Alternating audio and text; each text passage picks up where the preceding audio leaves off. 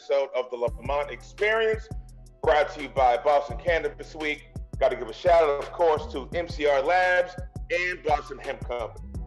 Today's episode, we have a cat that I've gotten to know pretty good over the past year. Uh, one of the baddest DJs around. Dude is the king of the mixtapes, man. The god of Merrimack Valley. Welcome my guest today, DJ Deadeye. What up, man? What's good, man? Thank you for having me, bro. Appreciate oh, you, bro. Of course, man. Yo, I'm loving that backdrop, by the way. That backdrop is dope. I got mad other random shit in here. It's just the lighting is crazy. So I got like, got like the, that's like a Pac poster up here. Um, that, that's 50, right? That's 50 up there. Pencil, that's 50. I got um 36 chambers signed by the, the whole clique. Oh man, I hate you, dog. I got I got this shit signed by all the boot camp members. Son.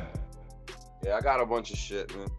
I'm just trying to I'm just trying to slide through and sit in that room for a minute and just stare at everything. Yeah, I got mad posters and shit that like I just haven't put up or I gotta get them framed because by by now they're like withered, you know, because they're so old.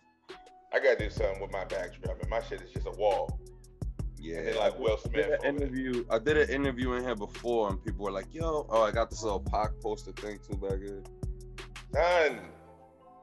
That's like hip hop dreamland, right? That's like hip hop Sesame Street, right yeah, there. It's weird. It just became like a El Pac room, like out of nowhere. Like, got like two Pac joints. I got I got the squad joint too. I had this made at a video shoot. That's so. up. So were you like, were you like, you know, because um, you know how back in the day it was like, who you with, and Biggie? Were you were you on the side of one or the other, or you just like I rock with both of them? Not really. I rock with both of them. I'm more of a, like a music guy. Um, obviously more probably more influenced by Big, because just being four hours from New York, you know. But the um, East Coast, the East Coast Pac, Pac had the more. I feel like Pac had more influential type songs because his shit was just more well rounded. He was more like, in a way, I, I, I don't want to misuse the word here, but he was more militant or so more like when it comes to the culture and how how yeah. people of color are perceived. Like he was more Most in your face about his opinions, and I always appreciate that about him. Yeah, um, man. I mean, his mom, you know, a lot you know, his mom was in the Black Panthers, right? Yeah, yeah. Word up. Yeah. He just yeah, had more. I feel like he just had more eclectic things to say. Big, yeah. big was more precise, but like he might he might have made you feel better than Pac maybe. well, I mean, big. I mean, big. Big told stories of his life, told stories of the street. Yeah. Uh, Pac, and, Pac and, and he made party records. He made a lot of party records. Yeah, and it, it was like a feel good vibe with Big. With Pac, it was more like real deal, like shit is fucked up, you know. True that. And then you know, I, the weird thing is like I feel you on all of that. Like Pac made some dope conscious records and everything. But like my favorite Pac song, for whatever reason, is "To Live and Die in L.A." Because I just I just vibe to live and die and LA. It's just such a vibe. Nah, word up. You know the timing too, like I just start thinking about '96, and I'm like, yo, it's like the perfect summer record and shit like that. You yeah. know, it was it was, and it was the first video off it. He had already he had just passed. Yeah, yeah. That was on uh, what Machiavelli, right? Yeah, Machiavelli, yeah. Which is a slept on Pac record that people kind of poo poo a little but that shit is fire. That's one of my. I'm actually ones. I'm su- I'm surprised that people sleep on it just because. I think it's the amount. Not just I think it's the amount. I think it's the amount of shitting on people that he did on the record, bro. Okay, well, yeah, that's you know, this, I ain't never heard a harder diss track than "Hit 'Em Up." And then he got two on on Machiavelli. He got Bomb first. The first track, he's fucking shitted on dudes. And then the last song against all odds is, you know, Flabby Holmes, uh, Larry Holmes, Flabby and Sick. you already know, man. Killing so, got, so that oh, that's crazy. So that's like Pac's, Pac and Big, really two of your biggest influences. You know, Those, I mean, they're in there. You know, they're they're I was already like too immersed in hip hop by then to have them be like, oh my god, I'm like really influenced by Pac or Big, you know. Like my shit was more like like Run DMC. Oh yeah. And then like um you know Cypress Hill and stuff like that. You know what I mean? And it re- yo, it really reflects in your beats, dog. When I listen to your music, it's Word. such a easy. It brings me back to that era of where hip hop was like regional. You know what I mean? Like how hip hop was like you could tell where cat was from based yep. on what they sounded like, and cats didn't sound alike from even even neighborhoods. You know what I mean? Like yeah. now it's different. It's kind of you know like how do you yeah. toe that line? Like how do you balance keeping like keeping your sound as real as you want it to be with sort of the economic changing of today's hip hop mainstream. Yeah, I mean it's tough. If you want to ride that mainstream line, then you know you're more looking at what's going on and trying to not emulate, but you know try to ride waves and shit like that. Um, yeah, fuck that. I, yeah, I feel you. Fuck that wave riding shit. Yeah, like, I can't do it. I, like I can't it. do it. You know, um, like I said, I, I, I was I caught down with hip hop when I was super young, so you had to be an individual back then, heavy.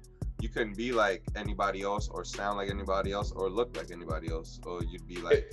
You'd have to fight, or you'd get kicked out of whatever circles you was in. You know, cats would come see you. Yo, facts. You cats would come see you. You get in, you get in beef over that shit. Yo, biting was yeah. not allowed at all. So I come from that school where, you know, I'll I'll do something that nobody's doing just cause, you know. I don't want. Yeah, I, am the kind of person that's always like, like I'm the kind of person that's always like, yo, whatever you're doing, if I feel it's authentic to you, then I will rock with it. It doesn't have to. It doesn't matter what it is, as long yeah. as you're living your truth. Because you can always, especially cats like from where we're from, like East Coast cats you yeah. can smell a phony, right? You can go. Most up, most def. Mm, I don't like from anywhere. You could you could spot yeah. them from Cali. You know, they could be like South dudes that moved to Cali and like trying to front like they West Coast dudes. Yeah, you can spot them from a mile away, man. You know what I mean? Like always do you. I mean, I'm all listen. I tell people. And really, go ahead. No, no. I'm gonna say I always tell people, man. You know, get that money.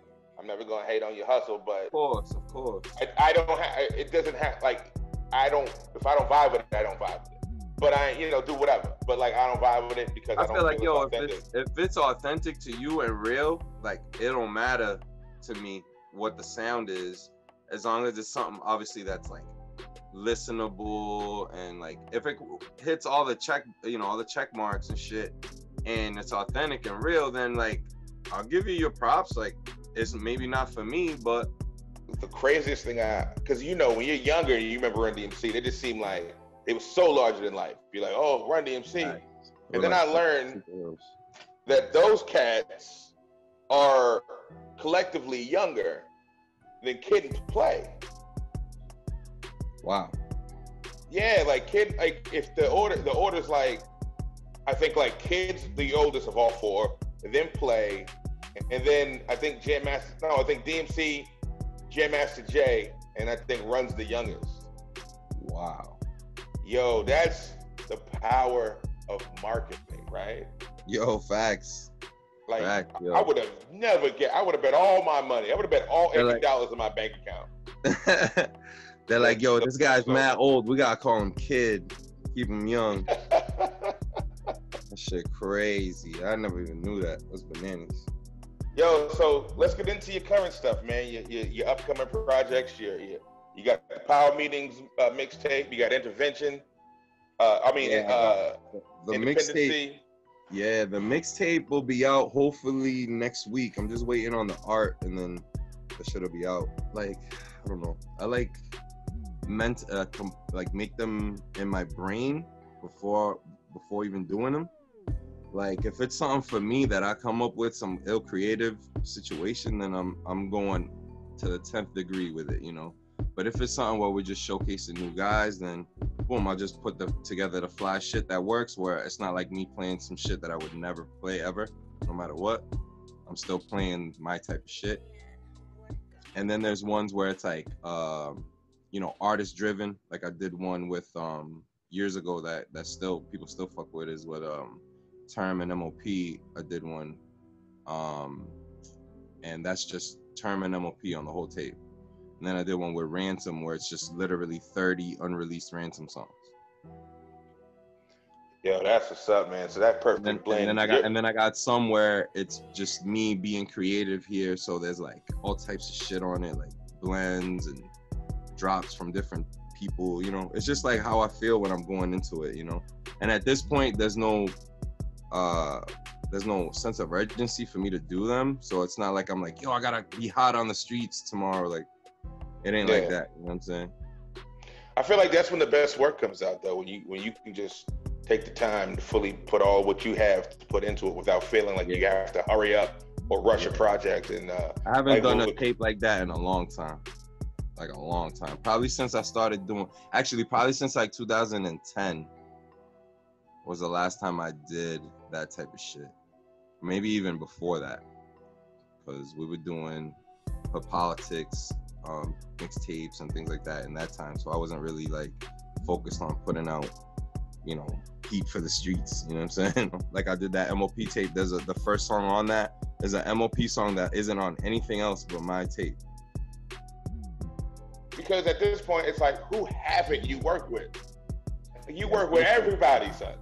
It's been kind of crazy, really, to tell you the truth. Um, that whole progression and how like not how fast it was, but how like in the moment how fast it is. You know what I mean? It's, it's I mean, like, you're living your dream, right? Like, like the it. first, the first like big tour we did outside of the U.S. was, I mean, outside of Massachusetts or New England was with uh, Sean P. and and Heltah Skeltah in like 04.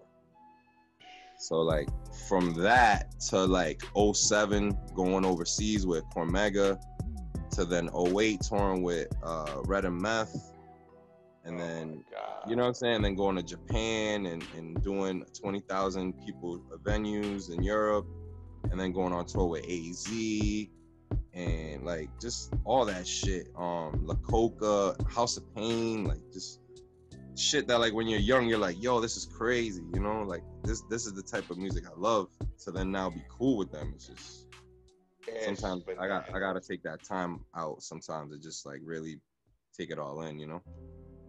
It, it's like in the moment you just because you're living it so you're just like yo out here doing it but then later on you sit down and you go what? Yeah and then even yeah. even other, type of shit like like when we did that that tour in 08 with red and meth like we were the official openers for that tour. And then um it was uh it was two months and it was across the country. So every you know maybe 10 or 15 shows there would be a new opener so like at some point it was uh we got to like the midwest they added like alchemist and evidence from dilated then after a while they added some more like wu-tang guys then they added little brother uh, it wasn't really Little Brother. It was like Pooh and like Scudda and these guys. But they were on the tour for like 10 or 15 dates too. And they, like Red Meth still kept us right before them, even though there were artists on the tour that were bigger than us. That's love, yo. That's what's up. That's some other shit, you know what I mean? But yeah. it was just the energy. We would get the crowd to where they were ready for Red Meth, you know what I'm saying? Like our, shit, our, shit's, our shit's a lot of energy on stage, you know. That's respect, man. Like, yeah, that's shit you, crazy. That, like, your your resume. I mean, that's like if I got to work with like, you know, I'm a comic, you know, so if I got to work, you tell me, oh, Chappelle, uh, uh, Eddie Murphy's gonna be there. You know what I'm saying? Like all these Redd Foxx is gonna be there. Like that's like that's that. If nah, you could talk up. to you, if you could talk to 12 year old you and be like, yo, one day you don't get to work with everybody. I'd just be like, yo, you. bro, put in the work and like trust the process. Cause at True times, that. at times you can get to a point where you're like, man, fuck this, you know. Uh, you mean? What do you mean, like being on the road? It, the tedious. It it's like just financially, or like being away from family, or yeah. just a non-normal human that you have to be you know well that's the part that sucks like as far as performing goes like when i have to go places and i think people get a weird idea of your life because you do that stuff. I know for me, like people think, oh Lamont, you and so and so doing so such such and such. You must be out here getting it in every night, all night. And it's like, nah, I do the gig, and then I might hang out for a minute and talk to a couple people. But an hour later, I'm in the hotel room by myself eating chicken fingers. Like that's kind of what it is normally. Yep. I'm not. I'm not. You know, at the after hours spot, especially in some towns I don't know.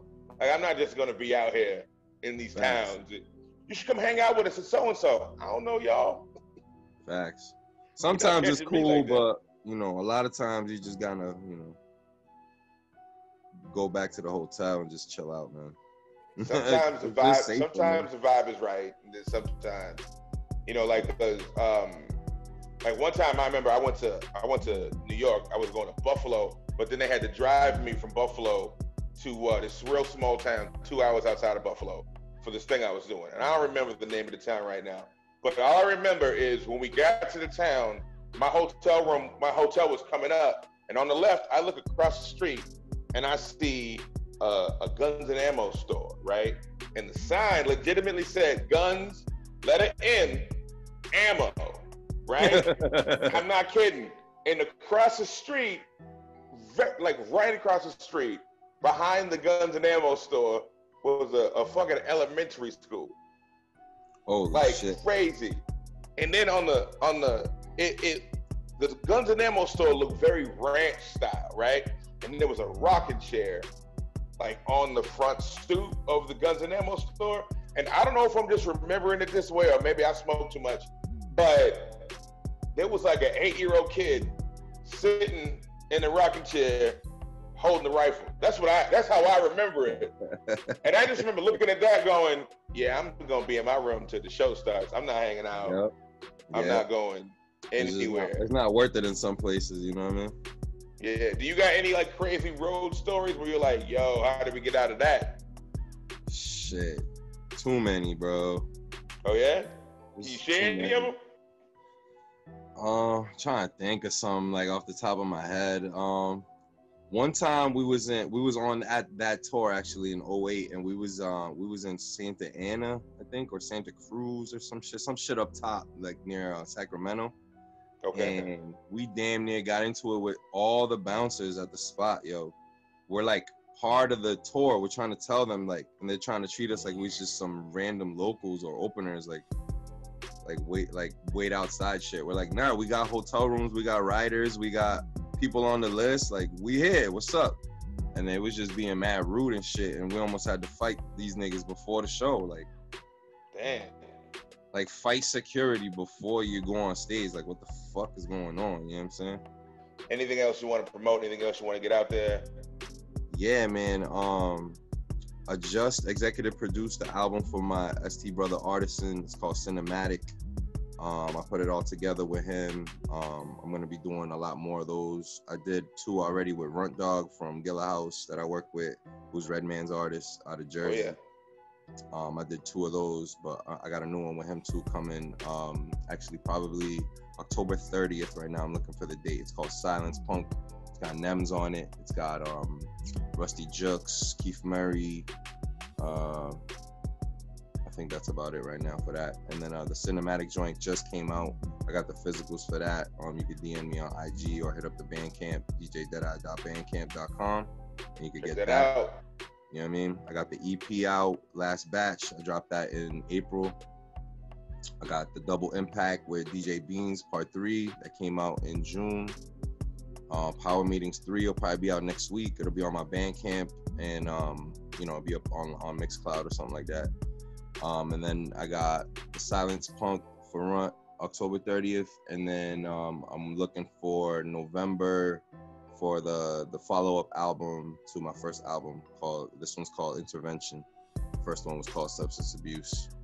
Um, this one's gonna be a lot of like underground favorite dudes and shit like that that people like and then um, trying to get Last Batch 2 out before the end of the year.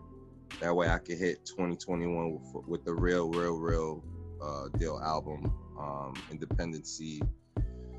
Looking like maybe June, May or June or something next year. That's got a bunch of heavy hitters on it. Um, you know, that's It's a bigger, it's a bigger, it's a bigger lineup than the album I'm trying to drop now.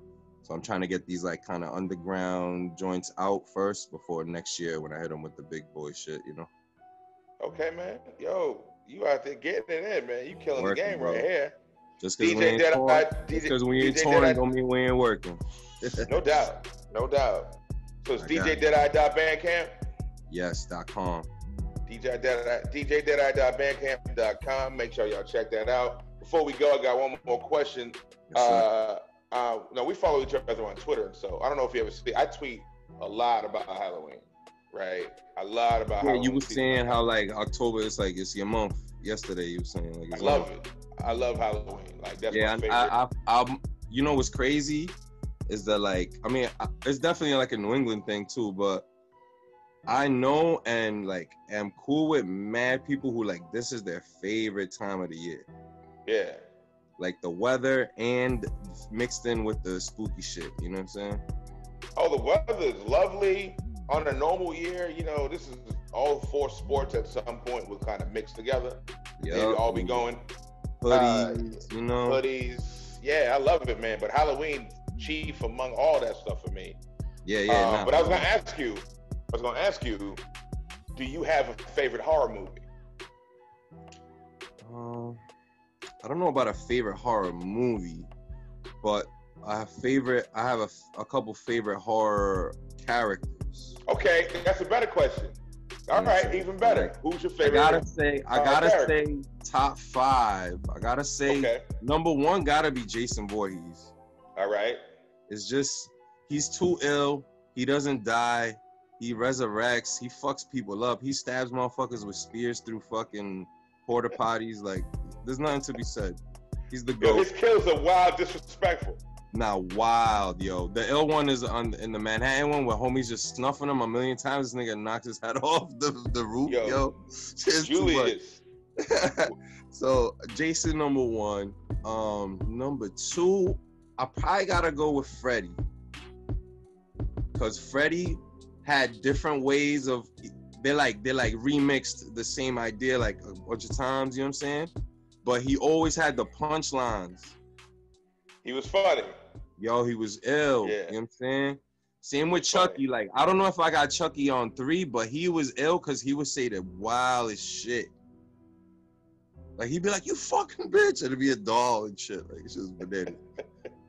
um, he was just funny to me. He wasn't really like a like a ill horror, like scary shit, but he was funny as hell. Um, Hellraiser's in there. Michael Myers. Okay. Michael Myers is in there. Um, you know, that's that's probably the top. That's five. That's, that's five right there. Five. You know, there's oh, other man. honorable mention ones, but they don't got like the ill character person. You know what I'm saying? Like Poltergeist was a scary ass movie when I was little and shit, and fucking. Uh, and uh, what's the other shit? Um, the shit with the chick's neck flips. What's the shit? Exorcist. Oh, Exorcist. Yeah, them shits was yeah. ill, but they don't have like they didn't have like the ill character guy. You know what I'm saying?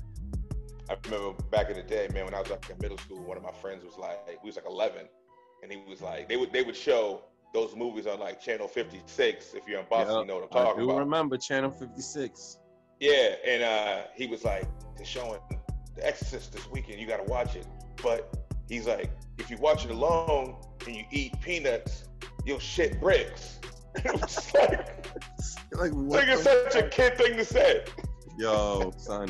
Yo, you know what? Yo, I gotta give honorable mention though. When I was a kid, yo, and that fucking Jaws music would come on, son. Oh yeah. Yo, I was not even near no water, but I'd be like, yo. Dun-dun. I was like, yo, that shit was an LL flick. That shit used to have motherfuckers pet. Cause that beat is like somebody's coming. Yeah, something's coming. Somebody's coming. Same with the Jason with the ch ch ch that shit you'd be like, yo, what? But yeah, th- there's a lot of them. That genre is incredible, but those got to be the top fives. I mean, I do like um, some of the older shit, uh, Night of the Living Dead's and things like that. But, Night of the Living Dead's great. Dawn of the Dead's great. I'm a big zombie nerd. I love zombie movies. Yeah. Uh, but um, yeah, I feel you on that. Like Jason Voorhees, Jason and Michael Myers to me like switch up one. you know, two. you know what the They're zombie both unstoppable. Yeah, no, they're both unstoppable. it's like it's like Ultimate Warrior and Hulk Hogan. Yeah, or Undertaker, really, with that sit up. They be like sitting up like the Undertaker. yo, real talk, yo.